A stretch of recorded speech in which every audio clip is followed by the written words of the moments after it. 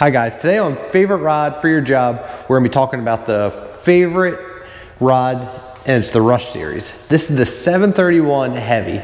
And what that means is it's seven foot three inches and it's a heavy action. And this rod is rated for between 3 eighths and 1 ounce for the lure you're using, um, between 12 and 20 pound test. It really is all around one of my favorite rods that I use. Um, I have multiple in the boat at all times. And if I'm just going fun fishing, say I have a pond or a uh, little creek I'm gonna go fish, this is usually my go-to rod, just because it handles a little bit of everything. Um, a little more on the components, you can see it has this cork reel. It's a Fuji reel seat, and it's got the foam uh, end cap for the handle there. And I really like how this just fits completely in my hand. Folds up real nice. It's temp or, uh, tapered a little bit right there. It's got this front reel handle. It lets you lock your reel in there. You can see it's super easy to adjust. It's got this nice hook keeper.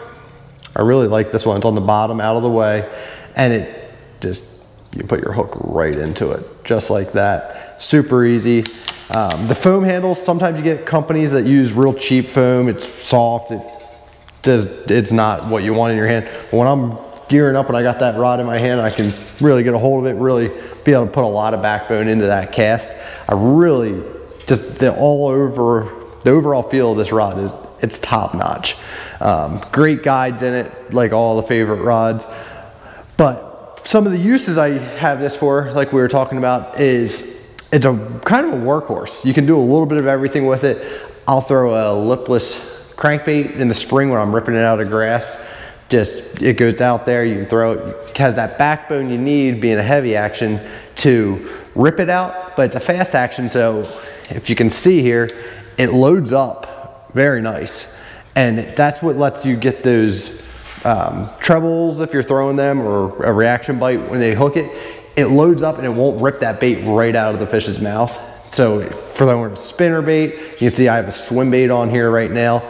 It's really great for all those different techniques. Um, if you do want to go and flip around some light cover, so if you're throwing around say a dock that doesn't have a whole bunch of beams on it, it works very well for that as uh, too. So don't be afraid to use this pretty much in any situation. I really really like this uh, favorite rush. I have three of them that I carry in my boat at all times. So that should tell you something. Um, if you want to get one, they retail for $249.99 on the favorite website. You can use the code GB20, it'll get you 20% off, save you a little bit of money. But if you're looking for one rod to just kind of get the job done, check it out. Thanks guys.